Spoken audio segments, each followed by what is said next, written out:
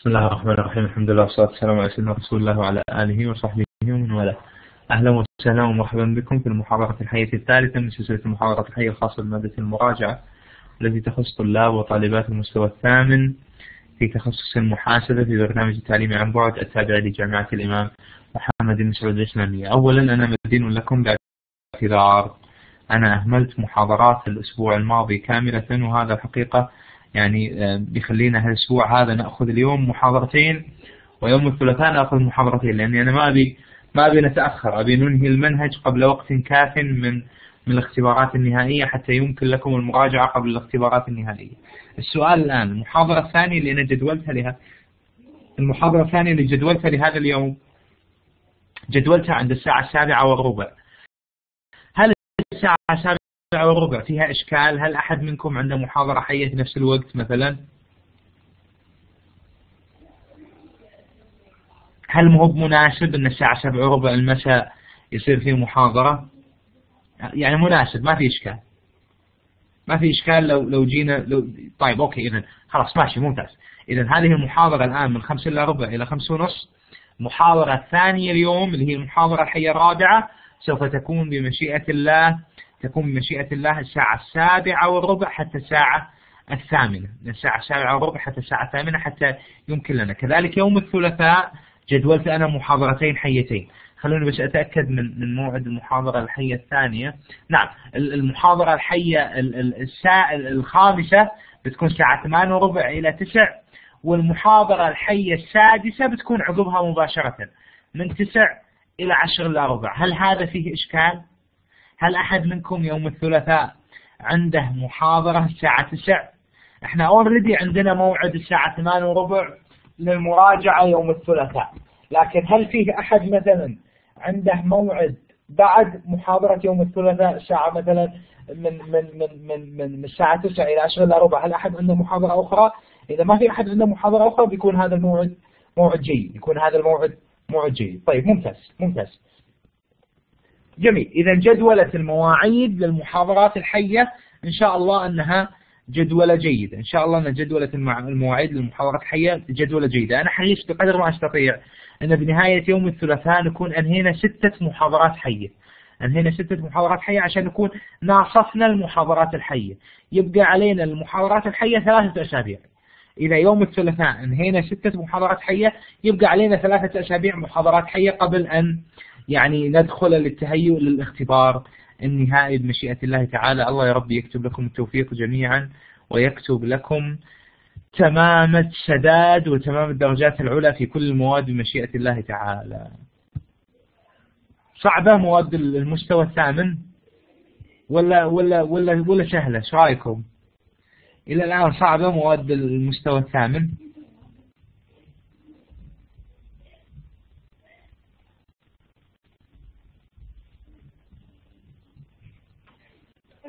مؤسسات المنشآت غير الربحية هي؟ لا المؤسسات. آه الأسواق المالية. الأسواق المالية. أسواق المؤسسات المالية. الله يكتب لكم التوفيق. إن شاء الله أنكم إن شاء الله أنكم تحققون فيها أعلى الدرجة لأن المهم أنكم إن شاء الله تحققون فيها أعلى الدرجة طيب. في مسألة قبل لا نرجع للمنهج في مسألة أبي أنبه عليها. آه آه أنتم أمامكم أمامكم فرصة جيدة جدا. وش الفرصة جيدة جدا؟ غير السوق أنا أرسلت لكم من قبل آه الشيء اللي اللي اللي اللي أعد الشيء اللي فيه الشهادات المهنية صح؟ سبقني أرسلت لكم. ولا لا ما سبقني أرسلت لكم. سبق تكلمنا عن الشهادات المهنية ولا ما تكلمنا عن الشهادات المهنية؟ أظن سبق تكلمنا. سبق تكلمنا عن أهمية أن أن نعم سبق تكلمنا أن أن لا يحبطك الناس على مسألة خريج الانتساب وغيرها لعلنا تكلمنا في هذا الباب. طيب تكلمنا عن الشهادات المهنية شهادة ال SOCPA وال CPA وال CFA وال CMA لعلنا تكلمنا عن الشهادات المهنية كأن إحنا تكلمنا عنها. طيب في شيء بسيط بس أنا أبيكم تنتبهون له. الآن الآن آه المرأة موظفة المراجعة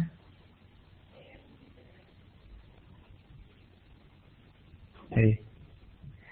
لا موبايلي عندهم قصة مع مسألة المراجعة. موبايلي عندهم إشكال مع مع قصة المراجعة. صارت عندهم مع Deloitte. Deloitte المكتب اللي يعملون فيه أو المكتب اللي يراجع على أعمالهم المحاسبية صارت لهم وياه مشكلة. آه، إن إن إن تواطأت موبايلي مع Deloitte إنهم أدخلوا لها ارباح هذه هذه مسألة مراجعية بنجيها بس الآن أنتم وأنتم يهمكم هالمسألة دي يهمكم أنكم تنتبهون لها. الآن واحدة من الشهادات المهنية اللي صارت جديدة عندنا في السوق السعودي جديدة جدا. وشهادة مهنية مختصة بطلاب وطلاب وطالبات المحاسبة. وش؟ اللي هي شهادة أخصائي ضريبة قيمة مضافة. وهي شهادة محاسبية. 100% هذه شهادة محاسبية. الحين ضريبة القيمة المضافة كم لها في السوق؟ مبطي في السوق ضريبة القيمة المضافة؟ لا عادها. توها. ضريبة القيمة المضافة يمكن كملت سنة ما كملت سنة ضريبة القيمة المضافة ولا كملت. هي العام والله إني نسيت. ضريبة القيمة المضافة لها سنة ثلاث شهور. لا ما كملت سنة ما كملت ولا كملت. على كل حال. على كل حال. ضريبة القيمة المضافة نقدر نقول فيرلي انها مي قديمة في السوق. فالآن صار فيه تتخرج محاسبة عندك بكالوريوس محاسبة تقدر إنك تقدم على إنك تأخذ شهادة أخصائي ضريبة قيمة مضافة. وترى الحصول عليها مو بصعب. الحصول عليها مو بصعب. شلون مو بصعب؟ يعني أنت تقدر إنك إيش؟ تقدر إنك آه يعني تذاكر تذاكر الماتيريال حق اختبار اجتياز أخصائي ضريبة القيمة المضافة وبعدين اذا اجتزته تصير أنت أخصائي ضريبة قيمة مضافة وهذا شيء ممتاز. هذا شيء ممتاز. هذا معين لكم في ظني في سوق العمل إنك تتخرج وعندك بكالوريوس محاسبة ومع بكالوريوس المحاسبة أخصائي ضريبة قيمة مضافة وقبل وقبل أن يغرق السوق قبل أن يصبح عدد اللي عندهم أخصائي ضريبة قيمة مضافة في السوق كبيرا جدا. هذا إيش؟ هذا يخلي لك هذا يخلي لك مثل اللي عندك مثلا أنت إنك أنت متقدم. انت كأنك متقدم عن عن عن مثلائك في السوق. تكون متقدما عن مثلائك في السوق فهذا شيء كأنه يعينك على هذه المسألة. لعلكم تنتبهون لهذه يعني لعلكم تنتبهون لهذه الشهادة. لعلكم تنتبهون لهذه الشهادة وإن شاء الله بعد التخرج من يحرص منكم من يحرص منكم على تحصيلها جيد. جيد من يحرص منكم على تحصيلها هذا ربما أيضا يكون جيد. هذا ربما يكون مساهما جيدا في في في قدرته أو أو يعني في في آه، في إنه يحصل على على على وظيفة جيدة أو يساهم يساهم معه وظيفيا. طيب الآن بروح إلى آه، المذكرة.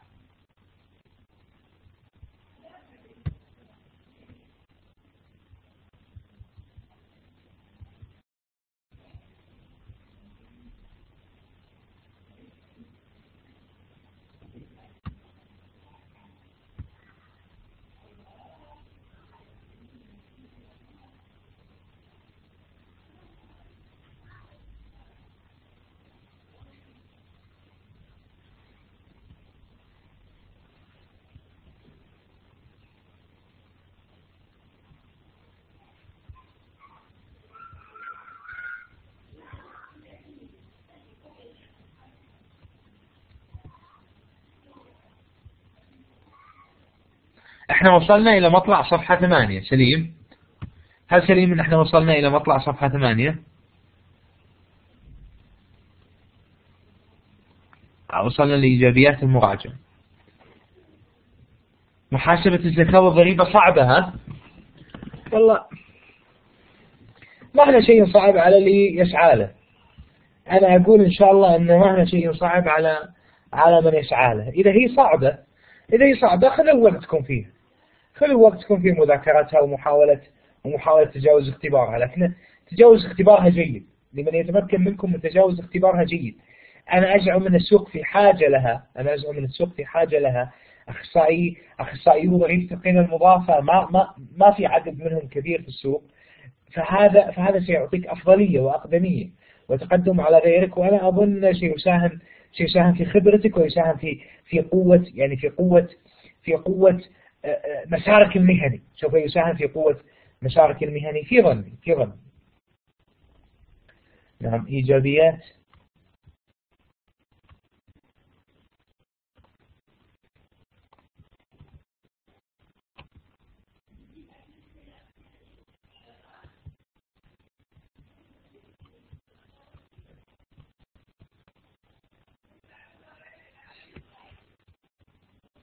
نعم إيجابيات المراجعة.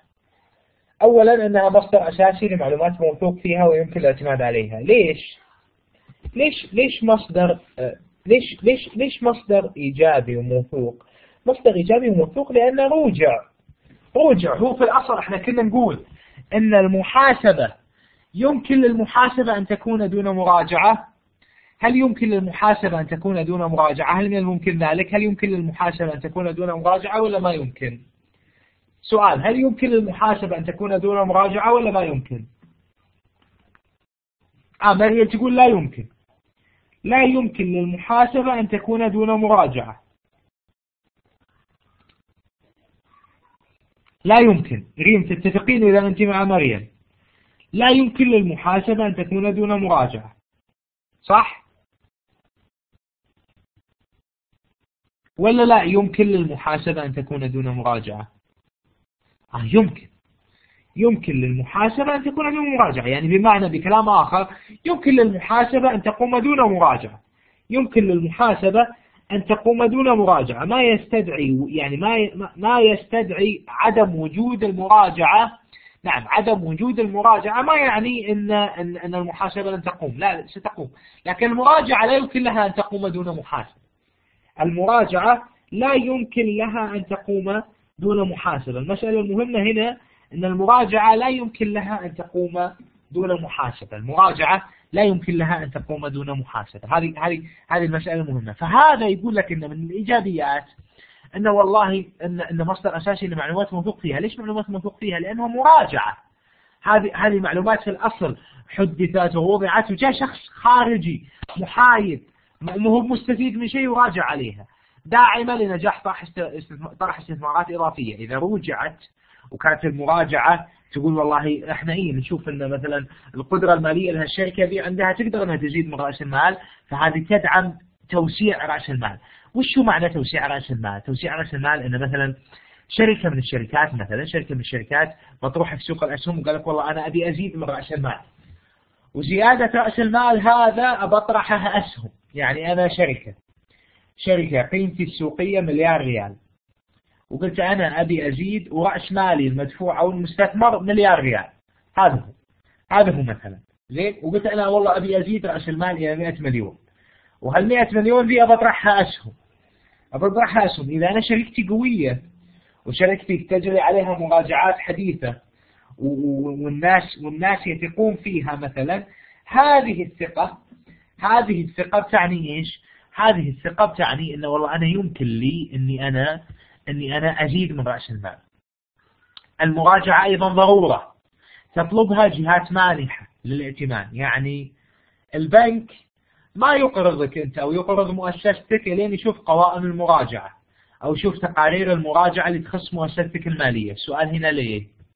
ليش البنك ما يقرضك إلا يشوف تقارير المراجعة اللي تخص مؤسستك لماذا؟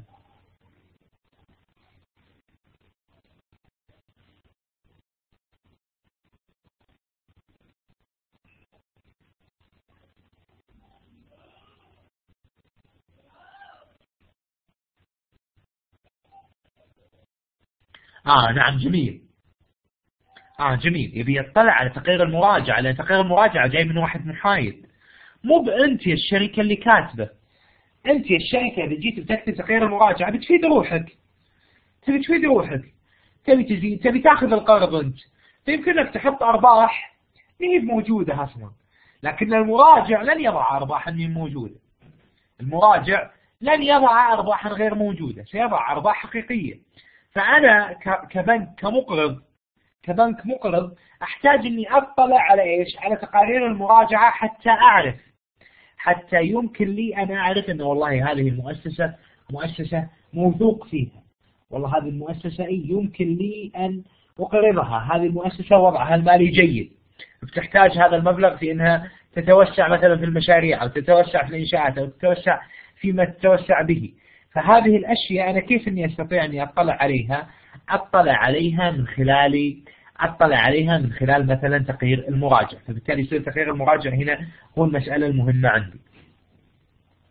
ضرورة لقبول القرارات الزكوية والضريبية. دليل إدانة في حالة اكتشاف غش. إذا المراجع اكتشف غشا ودونه فهذا دليل إدانة. تحديد قيم مختلفة قيم مختلفة. بعضا بعض من الشيء من القيم الواردة بالقوائم المالية على أساس احتساب بعض البنود. مكافآت إدارة أرباح السنة في بعض الأشياء المراجع يجيبها بطريقة محايدة جدا فيقلل ربما من قيمتها بالنسبة إلى القيمة التي وضعتها الإدارة. وكذلك تفعل وتدعم فعالية نظام الرقابة الداخلية الذي يمثل خط الدفاع الأول في حماية استثمارات المنشأة. هذه إيجابيات المراجعة.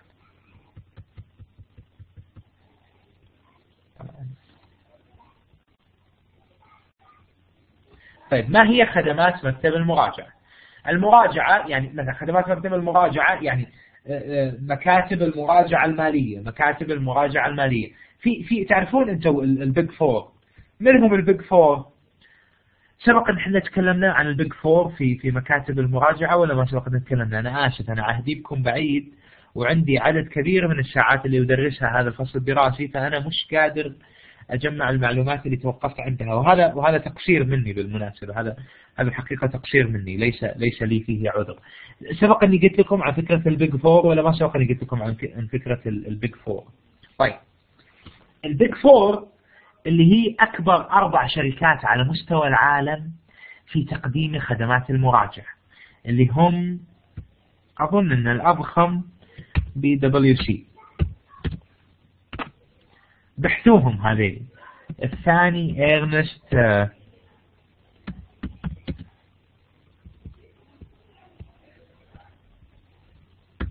Ernst and Young. وين كذا؟ آه وفيه آه Deloitte.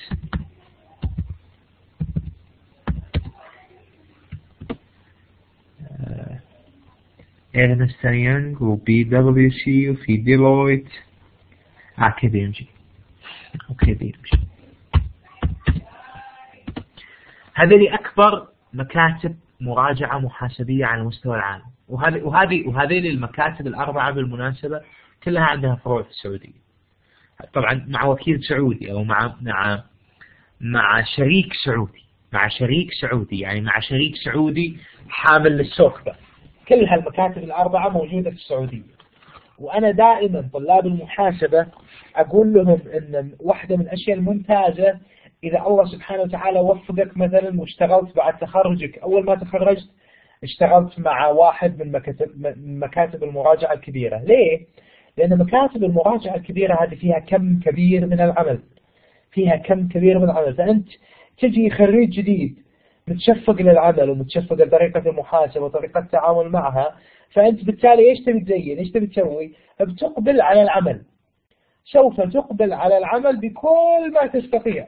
إقبالك على العمل إقبالك على العمل بيعني بيعني قدرتك على أنك تحقق أكبر أكبر كم ممكن يعني من الفائدة. أنك تحقق أكبر كم ممكن من الفائدة. هذا هذا هذه الفائدة هي صيدي أنا هذه الفائدة اللي أنا أشوف أنها فائدة ممتازة ومميزة للخريج الجديد اللي يأخذها من من مكاتب المراجعة. طيب مكاتب المراجعة ذي إيش الخدمات اللي تقدمها؟ تقدم أولا خدمة المراجعة وهي مراجعة القوائم المالية للمنشآت وتقديم أدلة القوائم المالية وتقديم الرأي بالنسبة للوضع المالي للمنشأة وكتابة التقارير الخاصة بها. هذا مثلا الشيء الرئيسي أو العمل الرئيسي. أيضا الفحص كتابة تقرير خاص عن فحص مشكلة معينة. والله أنا أتعاقد مع هذا المكتب ما أبيه يسوي لي مراجعة شاملة.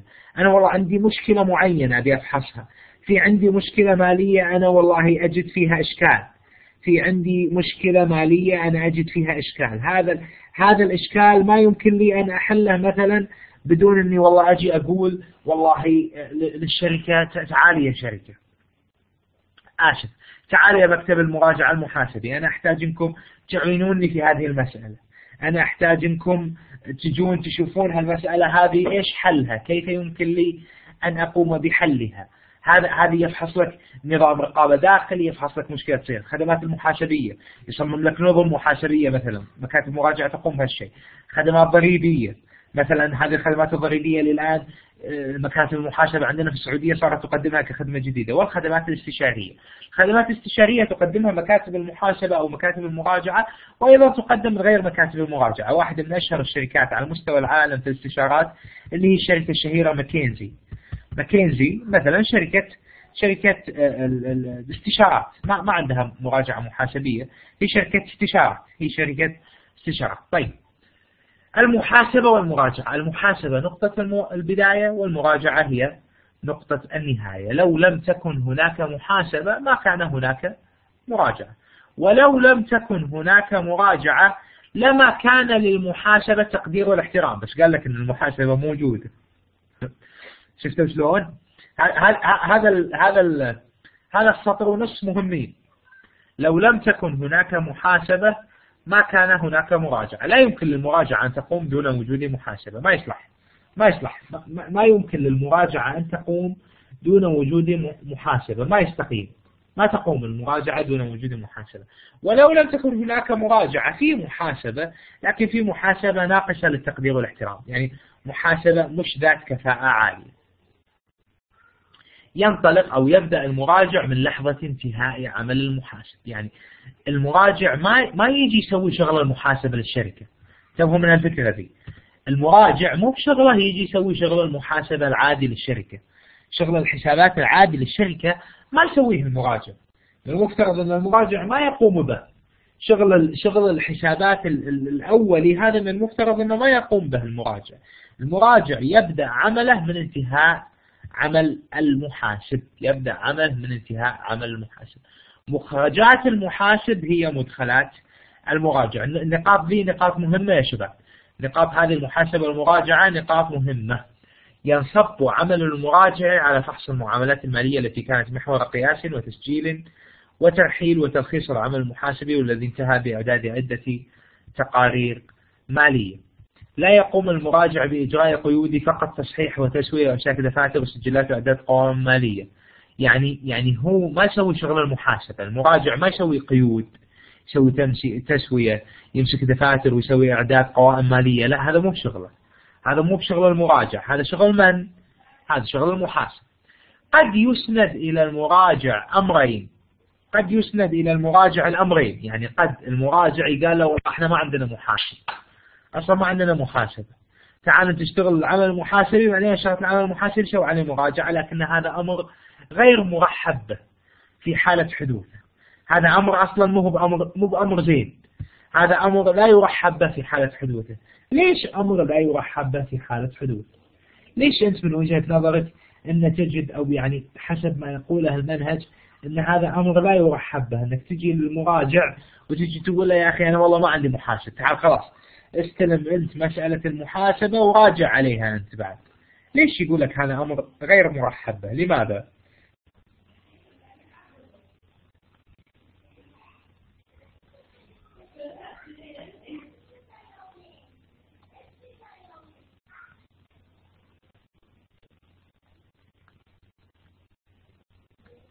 جميل لأنها قد تخلو من الأمانة في العمل. جميل جميل. قد تخلو من الأمانة في العمل. ولأنه ما يصير ذات الشخص اللي يسوي المحاسبة وهو بعد يجي يسوي المراجعة ما يشرح. الشخص نفسه اللي يسوي المحاسبة يجي بعد يسوي المراجعة كذا في تعارض مصالح. هو إذا عنده خطأ محاسب سواه وهو محاسب. أيام يعني يوم إنه ما اشتغل شغل يوم إنه اشتغل شغل المحاسبه وسوى خطأ معين بيجي يخش عليه لجي يراجع عنه. ما يبي يكتب تقرير المراجع إنه في خطأ محاسبي موجود. بينما لو المراجع مختلف عن المحاسب لا يكتب إنه في خطأ. يتخلى عن مسألة الحرج. طيب هذا اذا كان المسائل اللي تخص مسألة المحاسبة والمراجعة. مسألة المحاسبة والمراجعة هذه مسألة مهمة جدا جدا جدا. طيب.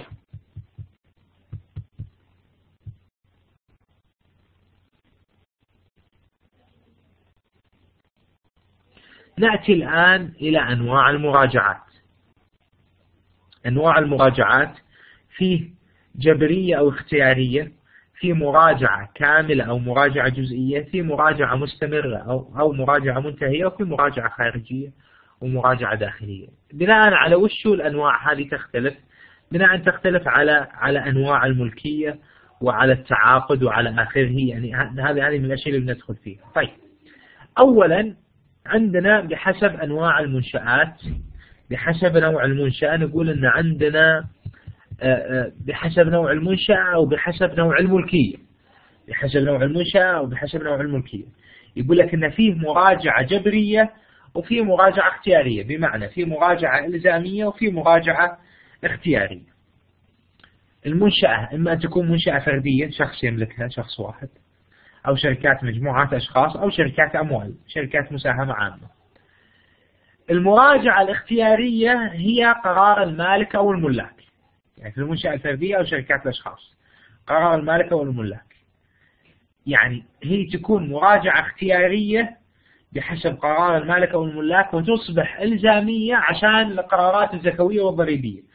يقول لك لا يمكن أن نقبل قرارات زكوية وضريبية دون أن يكون في تغيير مراجعة.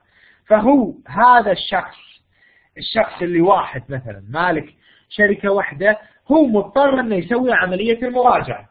هو مضطر أنه يسوي عملية المراجعة. ليش هو مضطر أنه يسوي عملية المراجعة؟ عشان مسألة الإقرار الزكوي والضريبي. وفي مراجعة إلزامية لشركات الأموال لشركات المساهمة العامة وغيرها. بحكم القانون لأنها لأن لها دور كبير في استثمار الجانب الأكبر من موارد المجتمع وتحمل هذه الشركات أعباء أنشطة استراتيجية. طيب المراجعة بحسب التعاقد يعني أنا أقول له والله يا مكتب المراجعة أنا أبي أتعاقد معكم أبي أسوي مراجعة كاملة.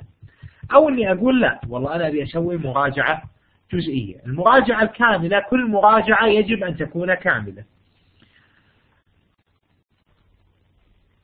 المقصود بهالفكرة مش أن ما في مراجعة جزئية لا في مراجعة جزئية.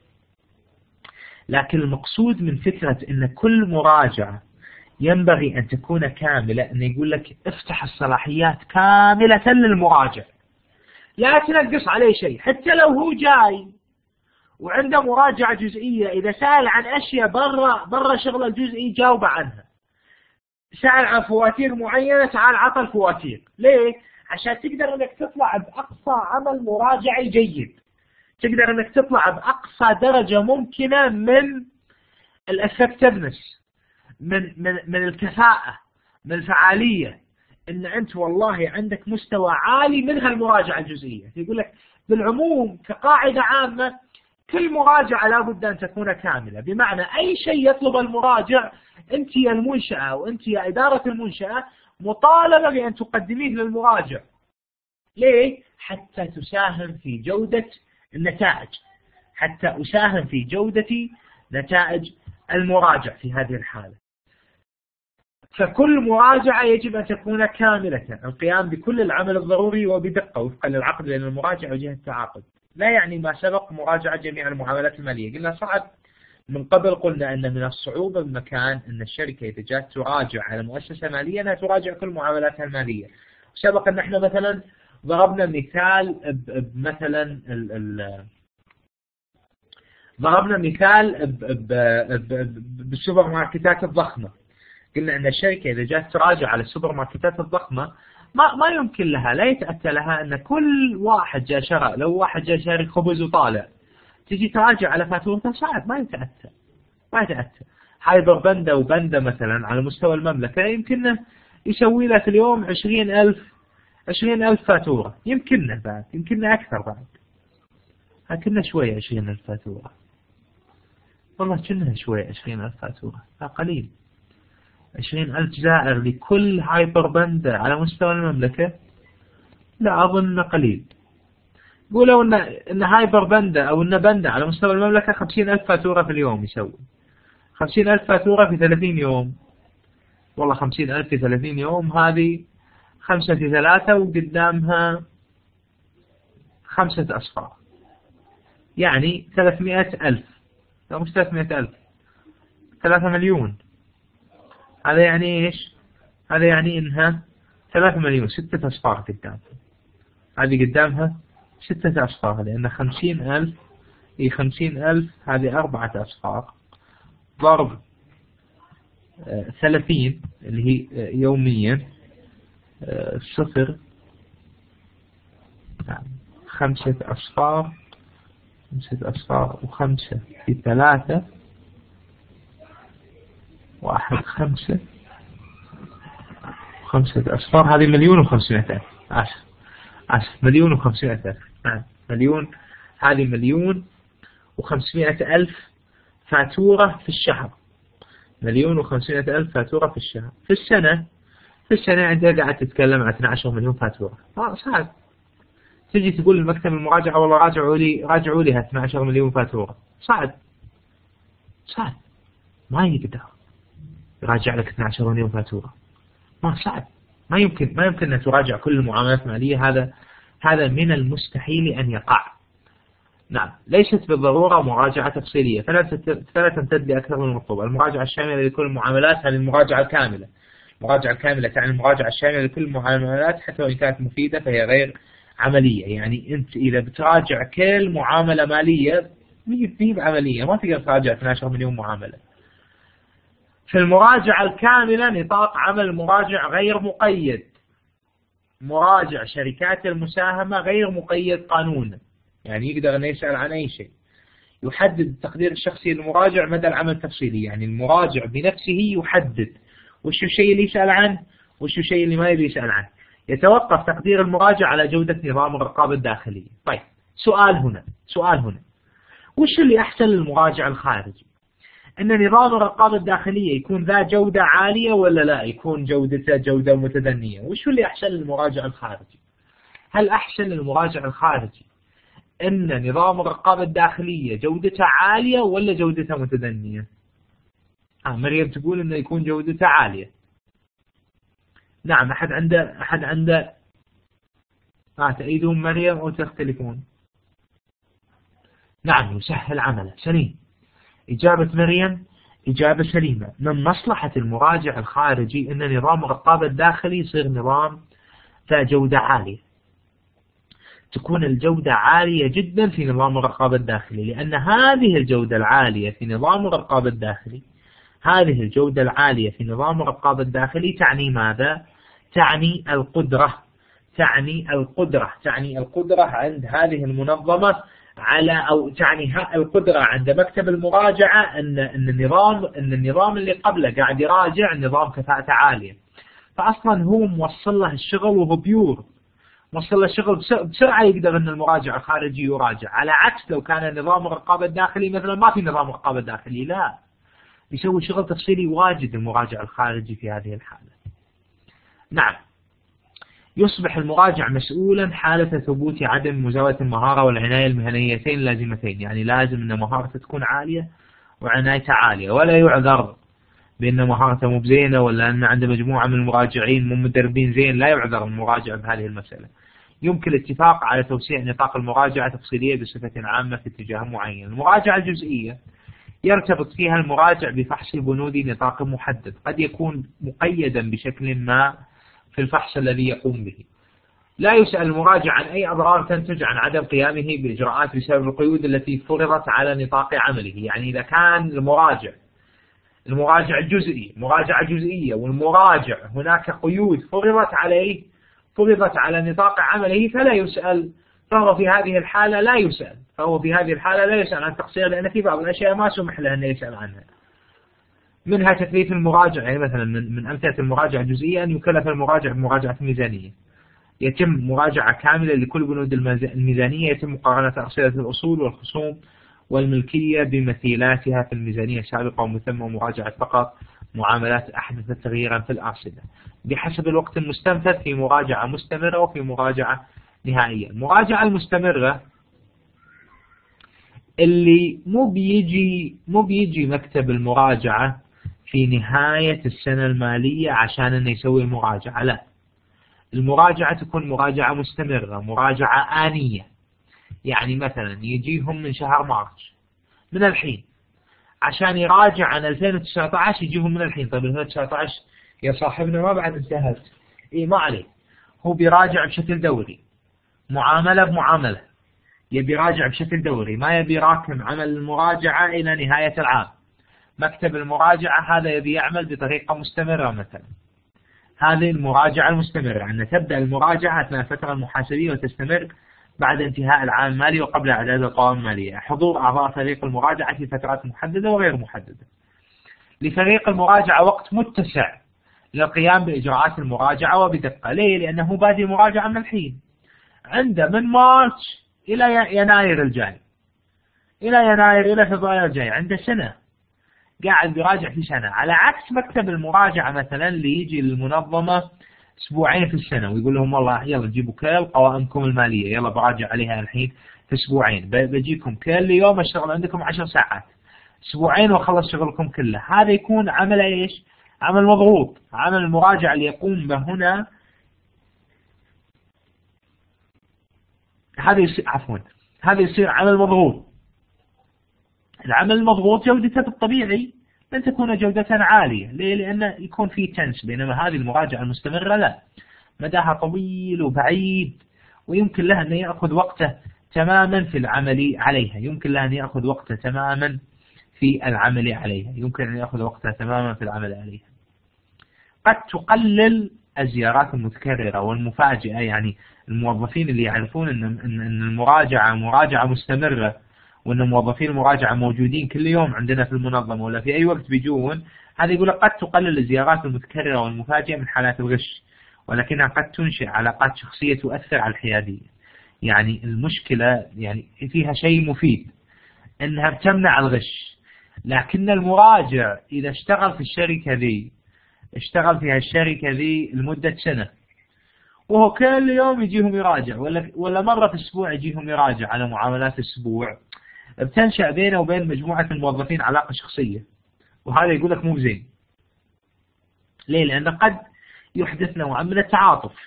هذا قد يحدث نوعا من التعاطف. قد, قد هذا الشخص يكون على تعاطف معين مع مجموعة الموظفين لأنه خلاص تعرف عليهم ومان عليهم مثلا خلاص صارت بينه وبينهم ميانة وسقطت فيما بينهم الكلفة. فهذا يعني إيش؟ هذا يعني إنه لا والله بتصير علاقتهم علاقة مو علاقة زمالة العمل، لا علاقة أعمق من علاقة الزمالة في العمل، مش علاقة زمالة بالعمل بالضرورة بقدر ما إنها تكون والله علاقة أعمق من من علاقة الزمالة في العمل وهذا مو بشيء جيد ولا ولا هو بشيء محبب يعني مثلا عند عند المراجعة. قد يتلاعب المحاسبون بالمنشأة في الأرصدة بعد انتهاء المراجع من عمله في كل مرة في كل مرة من المفترض يحتفظ المراجع ببعض أسئلة الحسابات لمراجعتها. يعني إذا هو راجع مشكلة المراجعة المستمرة أو الآنية إن ما ما تعلن قوائمها أو ما تعلن تقاريرها. يراجع على شيء ويغير مثلا أشياء في الأرصدة المراجع يخلي الأرصدة قريبة من الواقع. ويمشي. ما يسجلها عنده مثلا قد المحاسبين يتلاعبون في هذه الأرصدة ويغيرونها. في مقابل الآن نأتي إلى المراجعة النهائية. تبدأ المراجعة بعد انتهاء العام المالي. المراجعة النهائية ما تبدأ خلال العام المالي. المراجعة النهائية ما تبدأ خلال العام المالي. لا تبدأ المراجعة المال النهائية تبدأ بعد نهاية العام المالي. وبعد إعداد القوائم المالية. يعني بعد ما المحاسبين يعدون قوائمهم المالية للعام المنصرم تواجد المراجعين يكون غالبا في فترة محددة ومتصلة. يجون لهم أسبوعين مثل ما قلت لكم يجون لهم أسبوعين في السنة. أو ثلاثة أسابيع في السنة في ديسمبر ولا في يناير مثلا. وقت المراجعة محدود. لضرورة نشر القوائم المالية وقد يتأخر إعلانها. العمل في فترة محدودة ومكثفة قد يترتب عليه تعطيل العمل المحاسبي. الاتصال بالمحاسبين خلال فترة محدودة المراجعين يتصلون بالمحاسبين خلال فترة محدودة. يعوق وهذا جيد يعوق نشأة علاقات شخصية بين أعضاء فرق, فرق المراجعة والمحاسبين بما ينعكس إيجابيا. كتبوا هنا بما بعد بما ينعكس كتبوا بما ينعكس إيجابيا على موضوعية وحيادية المراجعة. يعني عدم وجود علاقات شخصية بين المراجع والمحاسب هذا شيء جيد. عدم وجود علاقات بين المراجع والمحاسب هذا شيء جيد. ليش؟ لأن هذا الشيء يعني أن, أن العمل تم على أقصى حيادية ممكنة. طيب في بحسب جهة التنفيذ آخر نوع عندنا بحسب جهة التنفيذ. المراجعة بحسب جهة التنفيذ عندنا المراجعة الخارجية واللي إحنا نتحدث عنها. هذا اللي نتحدث عنه هذه المراجعة الخارجية. عند الحديث عن المراجعة دون تحديد. لو أحد يقول المراجعة ويطلقها بالعموم يكون المقصود بالمراجعة المراجعة الخارجية. هذه هي اللي إحنا ندرسها. المراجعة اللي هي اللي هي إحنا ندرسها اللي هي المراجعة نعم نعم سليم. كل نوع من أنواع المراجعة له ميزات وعيوب. سليم. لكن هنا يقول لك أن لو يطلق المراجعة يطلق المراجعة كمفهوم فهذا يعني أنه يعني المراجعة الخارجية اللي مكاتب المراجعة المستقلة تقوم بها. هذه المراجعة الخارجية إما أن تكون إلزامية اختيارية أو قانونية بحسب نوع الملكية. يتم التعاقد مع مكتب مراجعة ومراجع وفريق للتنفيذ. هذا هذه المراجعة الخارجية. أتعابهم يتم الاتفاق عليها في التعاقد. يعني يستحق مكتب المراجعة اللي يراجع القوائم المالية طبعا يستحق أنك تعطيه أتعابا على مراجعته. استقلال تام عن الإدارة. مراجعة الخارجية مستقلة تماما عن إدارة المنظمة الجهة الأساسية التي يتم تقديم تقرير المراجعة لها هي الجمعية العمومية للمنشأة يعني الناس اللي متملكين في المنشأة والمكونة من أصحاب الملكية الغرض الأساسي من المراجعة الخارجية إبداء الرأي في صدق وعدالة القوائم المالية. المراجعة الداخلية للإشارة إلى المراجعة الداخلية يجب النص على كونها داخلية. يعني ما يصلح تقول والله أنا قلت المراجعة ونعني المراجعة الداخلية. لا إذا قلت المراجعة مطلقا الناس يفهمونها المراجعة الخارجية. فلما تبي أنت تصل للمراجعة الداخلية تنص تقول المراجعة الداخلية. هي عنصر أساسي من عناصر النظام السليم للرقابة الداخلية. الرقابة الداخلية اللي هي تابعة للمنظمة ليست مستقلة عنها. المراجعون الداخليون من العاملين بالمنشأة يتقاضون رواتبهم مثل باقي العاملين بالمنشأة يعني هذه النظام الرقابة الداخلي الموظفين القائمين عليه موظفين من داخل المنظمة. إدارة قسم المراجعة الداخلية ضمن الهيكل التنظيمي للمنشأة وغالبا تتبع الإدارة العليا لتوفير حد أدنى من الاستقلالية. أن أن المنظمة أيضا يهمها لمصلحتها يهمها أن قسم المراجعة الداخلية يعزل. أو أن ما يرتبط بالإدارة حتى إيش؟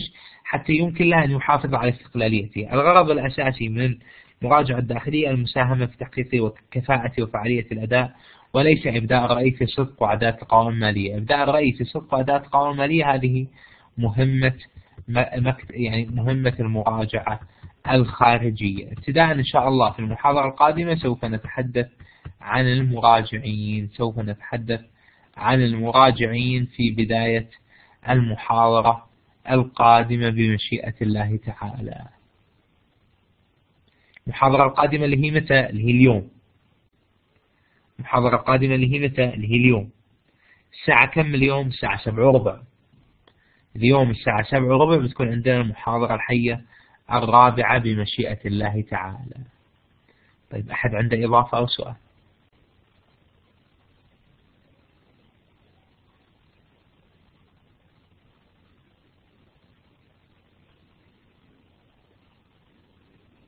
طيب إذا شكرا جزيلا لكم. نلتقي بمشيئة الله مساء هذا اليوم في المحاضرة الحية الرابعة. لا تنسون موعدنا إن شاء الله الساعة السابعة والربع مساء بمشيئة الله. شكرا جزيلا لحضوركم وتفاعلكم. كونوا في رعاية الله وحفظه. السلام عليكم.